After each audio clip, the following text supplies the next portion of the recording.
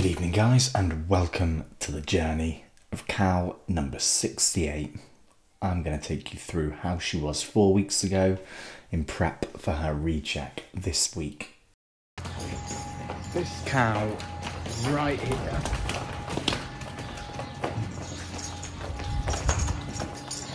Turn her around. Can you guys see how swollen that back hoof is? Watch her walk. Let's get her in and let's see if we can find out what's wrong with her. So we've got to walk these girls down through the parlour, slightly different parlour to what people would normally see, and they've got to go around a corner into my chute. It's never normally that easy to get them in. Good girl, go on. Through we go. She is in. I'm going to get another cow in behind, and then I can jump in and trim her with Will. Because obviously I'm not trimming because of my hand. But let's get back. Let's see if there is anything wrong with that foot. I reckon she's probably at least been trimmed by the farmer. She looks like she's been looked at just from how she's walking. And more than likely, I would say she's probably lost her shoe. Um, if only he was using Bovi-Bond. But right, let's jump on in and let's see how that hoof is doing. So normally when we lift these girls up, we have to do extensive work to find an issue.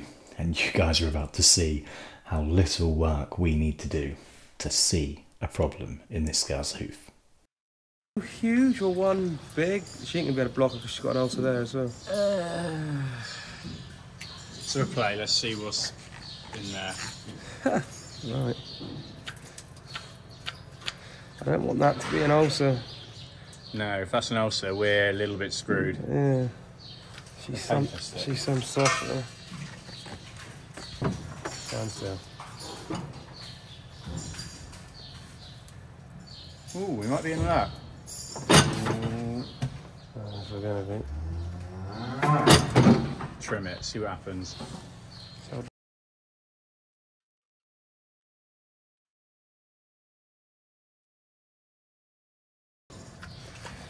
Tricky, innit?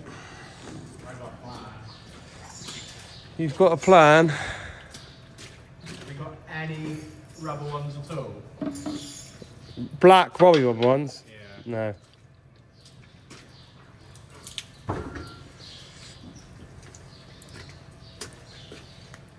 No. No, those things are scary after I saw what you did last time on them was.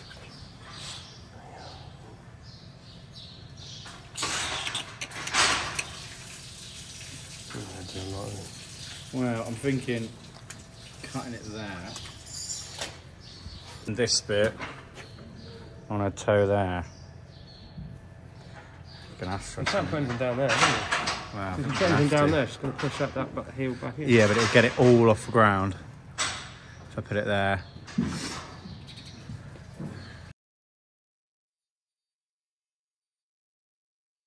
So, getting these horse shoe blocks to get on these feet are never the easiest. You'll very, very rarely see me touch a wall with a grinder. But to get these blocks to stick, we've got to get all the bits of dirt off of this. Uh, yeah. Yeah.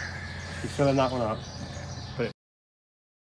we need the best glue contact with our Bond Bond as possible.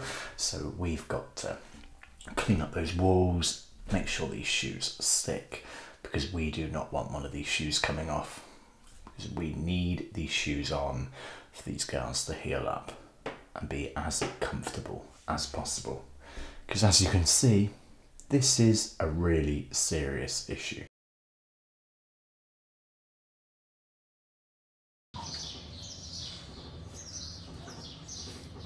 That right there is what you call stupid for people watching.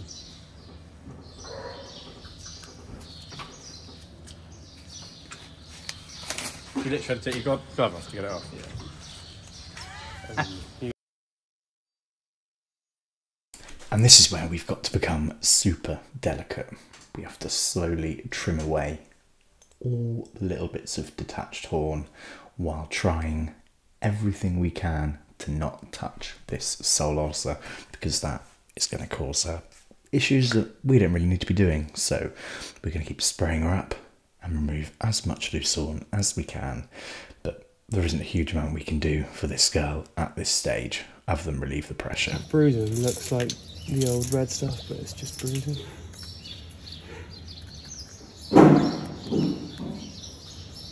That's ulcer.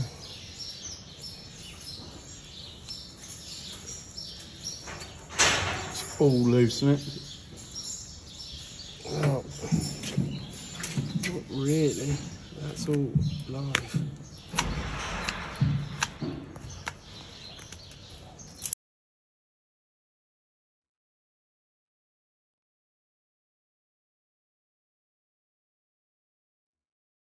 Is that loose? There? No, it's part of the ulcer, I think. I don't want to cut that. I think that's part of the ulcer. Take time, innit, in the day. Mhm. That's uh, yeah, but usually I would. I don't know what I'd have done if you weren't here with this sort of cow, to be honest. See if you can tuck a little bit. If you pass me a bandage, see if you can tuck a little bit more. That was slick in the back. Do you want me to hold it? Yeah. Right at the top of it. Yeah.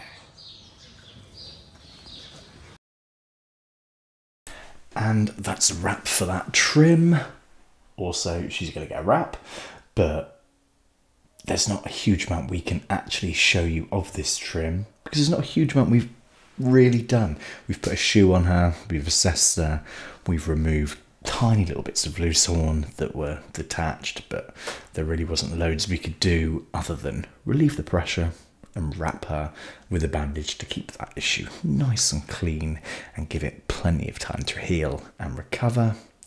This girl would have been put on pain relief and she already was on pain relief, so she is good to go. Fingers crossed we're going to see her walk out of this chute looking much, much better.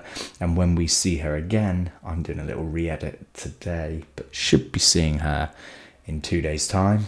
So when we see her again, hopefully you guys are going to see a vastly improved cow.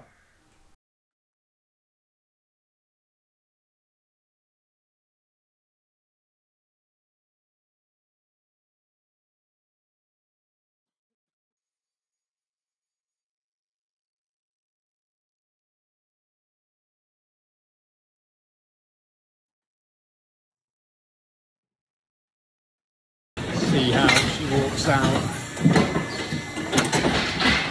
Fingers crossed, better than she walked in.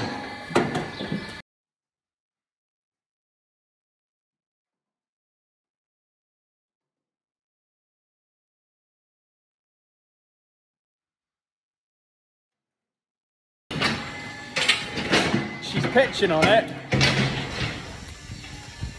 To be fair, she, she's walking out a lot better. Yeah. I'll put the next one in too if you want a trimmer. Fingers crossed. She's going to be on a bit of a road to recovery. Drop a comment down below if you guys want to see this trim